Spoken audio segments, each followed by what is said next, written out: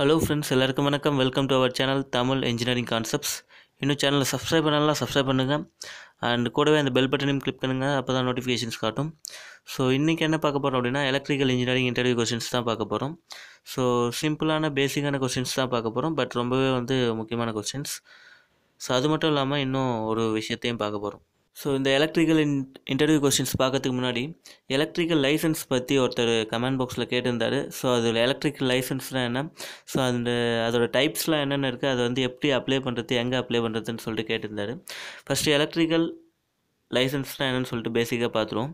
Electrical licence அப்படின்னா ஒன்றும் இல்லை. நம்ம பேசிக்காக வந்து எந்த ஒரு எலக்ட்ரிக்கல் ஒர்க் நம்ம பண்ணுறதா இருந்தாலும் நமக்கு பார்த்திங்க அப்படின்னா இந்த லைசன்ஸ் அப்படின்றது வந்து ரொம்ப அவசியமான ஒன்று ஸோ இது பார்த்திங்க அப்படின்னா கவர்மெண்ட் வந்து கட்டாயம் வச்சுருக்கணும் அப்படின்னு சொல்லிட்டு சொல்கிறாங்க ஓகே இந்த லைசன்ஸை எங்கே அப்ளை பண்ணுறது அண்ட் இது யார் யாருக்கு தேவை அப்படின்னா இந்த எலக்ட்ரிக்கல் ஒர்க் பண்ணுறவங்களுக்கு தேவை. ஸோ இதை எப்படி அப்ளை பண்ணுறது அப்படின்னா ஆன்லைன்லேயே அப்ளை பண்ணலாம். தமிழ்நாடு எலக்ட்ரிக்கல் லைசன்ஸ் போர்டு அப்படின்ற சைட் இருக்குது W W dot TNELB dot GOV dot in அப்படின்ற சைட்டு ஸோ அந்த சைட்டில் போயிட்டு நீங்கள் அப்ளை பண்ணிக்கலாம். ஸோ இந்த சைட்டில் பார்த்தீங்க அப்படின்னா இது இந்த சைட்டில் பார்த்தீங்க அப்படின்னா நீங்கள் நிறைய டைப்ஸ் ஆஃப் லைசன்ஸ் இருக்குது ஸோ அது எல்லாத்தையும் அதை பற்றி தெளிவாக எனக்கு தெரியல என்னென்ன டைப்ஸ் அப்படின்றது. ஸோ அது தெரிஞ்சவங்க கிட்ட கேட்டுக்குங்க. இந்த கார்னரில் பார்த்தீங்கன்னா டவுன்லோட் அப்படின்ற ஆப்ஷன் இருக்கும். ஸோ அங்கே போயிட்டு நீங்கள் டவுன்லோட் அப்படின்ற ஆப்ஷனை கொடுத்தீங்க அப்படின்னா ஸோ நிறைய ஃபார்ம் வரும். ஸோ அதில் உங்களுக்கு தேவையானதை நீங்கள் டவுன்லோட் பண்ணி அந்த ஃபார்மை வந்து இந்த சைட்லேயே பார்த்தீங்க அப்படின்னா கிண்டியில் அதோட ஆஃபீஸ் இருக்குது ஸோ ஸ்ட்ரெயிட்டாக அங்கே போயிட்டு நீங்கள் வந்து இந்த அப்ளிகேஷன் ஃபார்மை ஃபில் பண்ணி கொடுத்தீங்க அப்படின்னா உங்களுக்கு லைசன்ஸ் வந்து ஈஸியாக கிடச்சிரும். அண்டு அதுக்கு வந்து பார்த்தீங்க அப்படின்னா பே பண்ணணும். ஸோ அதையும் நீங்கள் வந்து பார்த்துக்குங்க.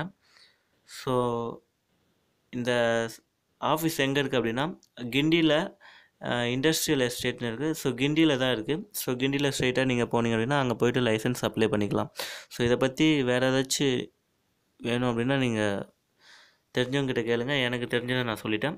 ஓகே நெக்ஸ்ட் பேசிக்கான விஷயம் இன்டர்வியூவில் கேட்குறது ரெண்டு மூணு விஷயம் கேட்பாங்க. அதில் ஒன்றுன்னு பார்த்தீங்க அப்படின்னா கெப்பாசிட்டர்னா என்ன ரெசிஸ்டர்னா என்ன? சிம்பிள் கெப்பாசிட்டர் அப்படின்றது ஒன்றும் இல்லை.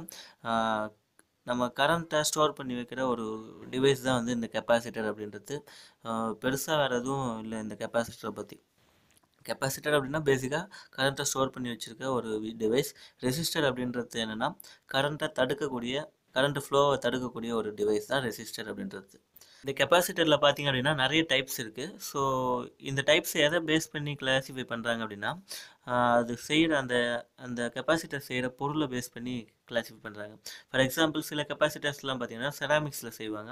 சில ப சில மெட்டீரியல்ஸ் பார்த்தீங்கன்னா எலக்ட்ரோட்ஸில் செய்வாங்க. ஸோ அதை பேஸ் பண்ணி இதை வந்து டைப்ஸாக பிரிக்கிறாங்க. இந்த செராமிக்ஸில் செய்கிறது பார்த்தீங்க அப்படின்னா பாசிட்டிவ் டெர்மினல் பாசிட்டிவில் தான் வைக்கணும் நெகட்டிவ் டெர்மினல் நெகட்டிவில் தான் வைக்கணும் அப்படின்றது அவசியம் இல்லை. பட் இந்த எலக்ட்ரோட்டில் செய்கிறது பார்த்தீங்கன்னா பாசிட்டிவ் டெர்மினல் பாசிட்டிவ்லையும் நெகட்டிவ் டெர்மினல் நெகட்டிவ்லையும் வைக்கணும். அதுதான் வந்து பேசிக்கான விஷயம்.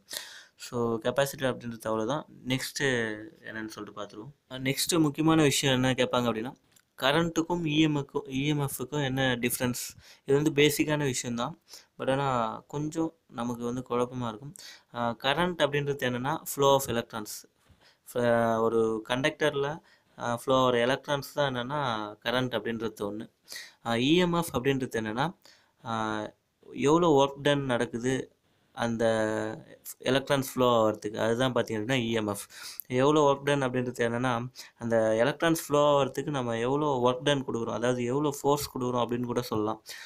அதுதான் வந்து இஎம்எஃப் ஸோ இது ரெண்டுத்துக்கும் வித்தியாசம் இவ்வளோ தான் ஸோ இன்னும் அடுத்தடுத்த வீடியோஸில் நிறைய அப்லோட் பண்ணுறேன் ஸோ தேங்க்ஸ் ஃபார் வாட்சிங் கைஸ் அந்த வேறு ஏதாச்சும் டவுட் இருந்துச்சுன்னா கமெண்ட் பாக்ஸில் கமெண்ட் பண்ணுங்கள் நான் அதை பற்றி வீடியோஸ் போடுறேன். அண்ட் இந்த வீடியோ பிடிச்சிருந்துச்சுன்னா லைக் பண்ணுங்கள் பிடிக்கலனா டிஸ்லைக் பண்ணுங்கள் அண்ட் அதுக்கான ரீசனை கமெண்ட் பாக்ஸில் கமெண்ட் பண்ணுங்கள் தேங்க்ஸ் ஃபார் வாட்சிங் guys and keep supporting us thank you